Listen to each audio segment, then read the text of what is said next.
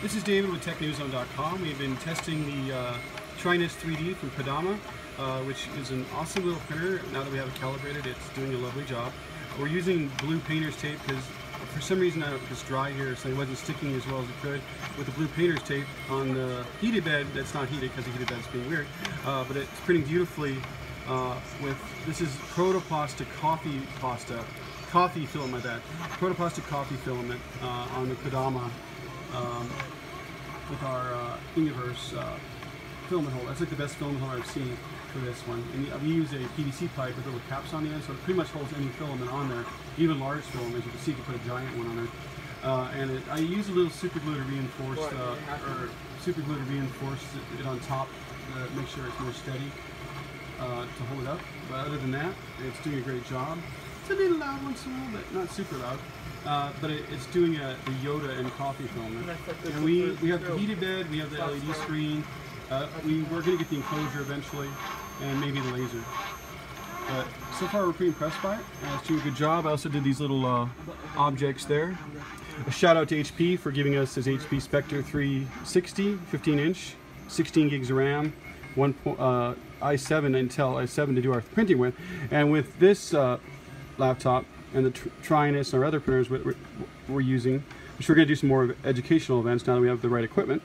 Uh, and Dremel, because Dremel, we're, we're going to be working with Dremel and Dremel 3D as well. So we, that's our one of our main educational partners, and HP. And we're working with Trinus, and we're going to be doing some other betaing for a few other places this summer. But our main printer for education is the Dremel, and then the Trinus is nice and small, so we'll take that one along too. But it does an awesome job and we are using Simplify 3D since Simplify gave us a free license, uh, two free licenses of Simplify with our um, uh, Hatchbox 360. We're going to try to use it with the Trinus 3D, uh, and then uh, if any other printers this summer to test and review, we'll use Simplify as well if they work with it.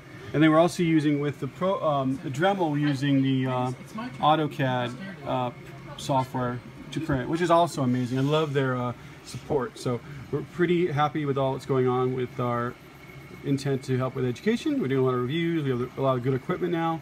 So we should be rocking pretty well this year. And we appreciate it. But this is focused more on the Trinus. And the Trinus is an awesome little printer. It's nice and small, easy to take with, and it's made of metal, so it's really solid.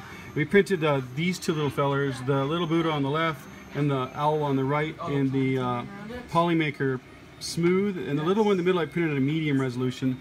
Uh, you can tell it's not quite as smooth as the other one. Uh, but that one's printed in a Polymaker, like a teal. Um, we're to try the Polymaker wood later. Uh, but right now we're printing the Yoda. Uh, as you can see on here, it's uh, about 16% done. You gotta love this little screen, it's cool. Uh, and it um, it's printing um, at about 200 degrees, the Protopasta coffee at 100%, and it's printing the Yoda. So far it's doing an awesome job. I like how um, Pango does these hexagonal supports. They're really interesting. I mean, I like Simplifies. They're really awesome. Like AutoCAD's really awesome. But for uh, affordable printer and affordable free software that comes with it, I'm really impressed with the Trinus. So, so far so good. Uh, this is Dave Berkowitz with TechNewsZone.com. Tech for Autism. We're also Makers for Autism. Uh, but we're TechNewsZone.com and iTechNewsZone on Twitter. Uh, but it's David with TechNewsZone.com signing off. Thank you and have a good night.